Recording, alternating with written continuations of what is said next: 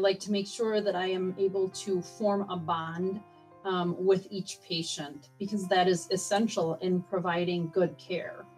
The best part of my job is knowing that at the end of the day, I made a difference in somebody's life. Um, that's the reason why I went into healthcare. It's the reason why I've always felt that I was called to do what I do. I have a large family. Um, all are now grown up, but we still spend a lot of time together. Um, we love to go four wheeling um, and kayaking.